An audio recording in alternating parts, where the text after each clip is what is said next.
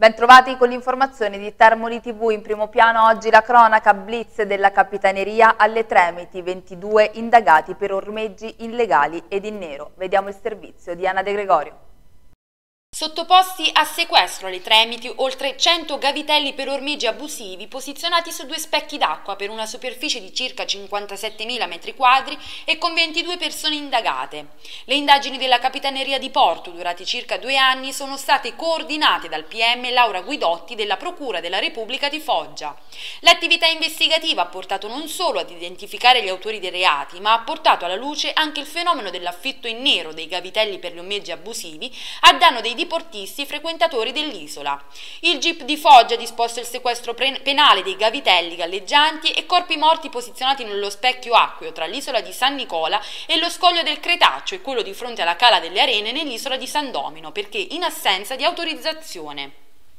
Terrore in mare in balia delle onde e del vento, due diportisti tedeschi salvati dalla guardia costiera. Vediamo. Erano spaventati in balia delle onde soccorsi dalla Guardia Costiera di Termoli due diportisti di nazionalità tedesca che durante il viaggio verso il porto di Venezia hanno avuto un'avaria a bordo a largo del porto di Termoli. Rapida la segnalazione sulla presenza dei due diportisti a bordo di un'imbarcazione a vela di circa 13 metri alla deriva per difficoltà di manovra, accentuata dalle forti raffiche di vento che hanno interessato la costa termolese nella serata.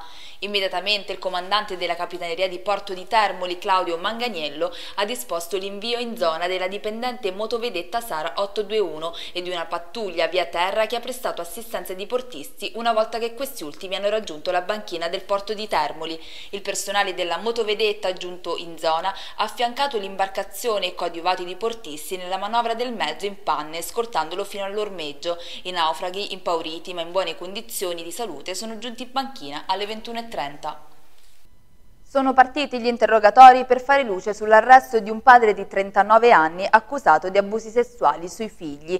E proprio due di loro ieri mattina hanno parlato per circa tre ore davanti al giudice Maria Paola Vezzi in presenza del loro tutore l'avvocato Marcello Benevento nominato dal presidente del Tribunale di Larino questo incidente probatorio sarà utile agli inquirenti, la più piccola e il ragazzino hanno risposto alle domande del giudice mentre la madre non era presente durante l'interrogatorio. Escalation di casi tumorali via il fumo anche dalle aree verdi. Ecco la richiesta della LILT, ma vediamo il servizio del nostro direttore Andrea Nasillo. In Italia le morti collegate al fumo arrivano ad 83.000 in un solo anno e la dipendenza dal fumo è causa certa di circa 30 malattie e diverse forme tumorali. La LILT in 90 anni di attività ha sempre promosso la lotta al tabagismo. L'ultima iniziativa presentata durante una conferenza a Termoli è volta a proteggere la salute di tutti i cittadini e salvaguardare il territorio. Si tratta di liberare dal fumo i parchi e le aree verdi delle nostre città, un progetto indirizzato ai comuni, alle istituzioni nazionali e locali, direttamente a sindaci e amministratori, ai presidenti dei parchi nazionali e regionali affinché venga esteso il divieto di fumo alle aree verdi. In conferenza stampa due esponenti illustri della LILT provinciale, il presidente Giovanni Fabrizio e il suo vice Carmela Franchella, il vertice della provincia Rosario De Matteis, il consigliere comunale di Campobasso Colitti e Paolitto, funzionario della regione. Come evidenziato dalla stessa Franchella, l'età della prima sigaretta si abbassa sempre di più.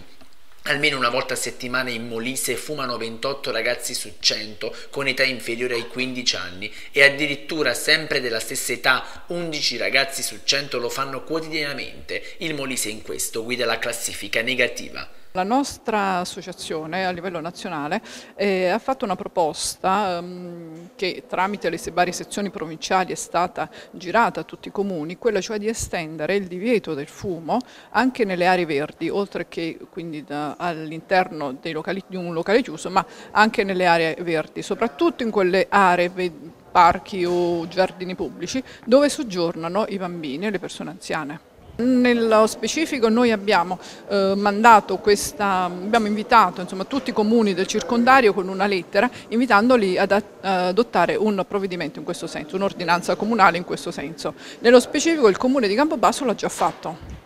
Campobasso a quanto pare ha anticipato tutti e sarebbe già pronta, come ci dice il consigliere comunale Colitti, l'ordinanza per liberare i parchi dal fumo. Noi avevamo fatto questa, questa, iniziativa che ho proposto in sede di commissione sanità eh, che presiedo all'interno del comune di Campobasso, avevo proposto già in maniera eh, così insomma, al sindaco per eh, vedere cosa lui ne pensasse, tra l'altro il sindaco è un grande fumatore, è stato pienamente d'accordo su questa iniziativa, l'ho portata anche in, appunto, in commissione dove è stata approvata all'unanimità.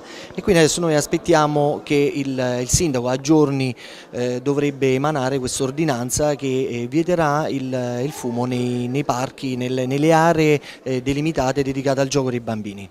Durante l'appuntamento in Galleria Civica è stata evidenziata la situazione che concerne il registro tumori. Esiste una delibera regionale con delle linee guida, qualcosa come sostiene il dottor Fabrizio, quindi si è mosso. Sì, il registro tumori ormai part stiamo partendo, la fase di costruzione della progettazione è finita, eh, da sei mesi abbiamo degli incarichi istituzionali, personalmente come responsabile ASM del registro tumori e il dottor, Carrozza come responsabile scientifico, abbiamo degli ottimi delle ottime sponde nella regione, la precedente amministrazione ha, ha fatto la, la legge, l'amministrazione ci sta sostenendo, ha trovato dei fondi, eh, se aspetterete vedrete anche eh, eh, alcuni funzionari della regione che potranno dirci qualcosa in questo. E siamo nella fase di partenza. Airtum ehm, abbiamo eh, fatto contatti con l'Airtum, stiamo eh, determinando l'organigramma, ci sarà una riunione operativa per eh, verificare chi fa cosa, per cui mh, nel giro di eh, due mesi partiamo già con la raccolta dei dati, ma tenete presente che i primi dati scientificamente validi non potranno essere dati prima di tre anni. Noi ci teniamo a costruire un registro tumori che abbia validità non solo nazionale ma internazionale. Per fare questo abbiamo bisogno di dati confortati dalla scientificità della raccolta ma anche dall'elaborazione dal punto di vista statistico. Quindi ci sono degli step da seguire, noi abbiamo fatto le cose in maniera tale da essere a tre anni, massimo quattro anni eh, certificati. In un Molise dove i decessi per tumori sono sempre più frequenti e la situazione è divenuta insostenibile, il 31 maggio, giornata mondiale senza tabacco, sarà il giorno della riflessione. Traffico nel caos questa mattina in pieno centro a Termoli per via del rifacimento di una parte del manto stradale. La viabilità è stata chiusa all'incrocio di Corso Umberto I con via Fratelli Brigida. Tanti disagi agli automobilisti che per la manutenzione si sono trovati a far tardi al lavoro. L'asfalto inoltre è stato applicato solo in una parte della strada. Ed ora gli appuntamenti. Domani alle ore 18.30 nell'officina Solare Gallery di Via Marconi si terrà un incontro pubblico promosso dalla Fondazione Milani per discutere della situazione attuale sul tema dell'acqua pubblica. All'incontro sono state invitate anche rappresentanze sindacali e di categoria professionali nella consapevolezza che occorre innanzitutto tutelare il diritto al lavoro degli operatori della CREA e coinvolgere tutti gli aspetti della vita cittadina per la difesa del bene acqua comune. Sabato 1 giugno alle ore 20.30 in piazza Monumento la diocesi di Termoli-Larino vivrà come da diversi anni la festa delle famiglie.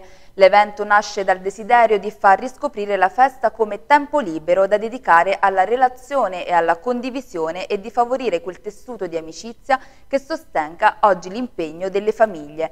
Tutti sono invitati a partecipare, una scaletta di giochi, musica e canzoni accontenterà tutte le generazioni. Ulteriori informazioni sono sul sito della diocesi. Bene, questa era l'ultima notizia, vi ricordo che se avete segnalazioni potete contattarci all'indirizzo redazione chiocciolatermoli.tv. Grazie per la cortese attenzione, buona giornata.